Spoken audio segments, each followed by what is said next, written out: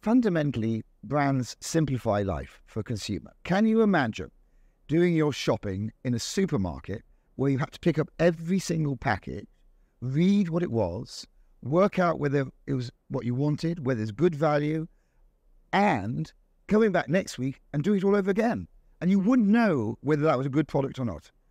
What brands do is they give you a promise. They say, we are going to give you this level of quality, this value, this feeling of who they are in your life. And I think that's really exciting because you know each time you go back at that price, you will get that particular benefit.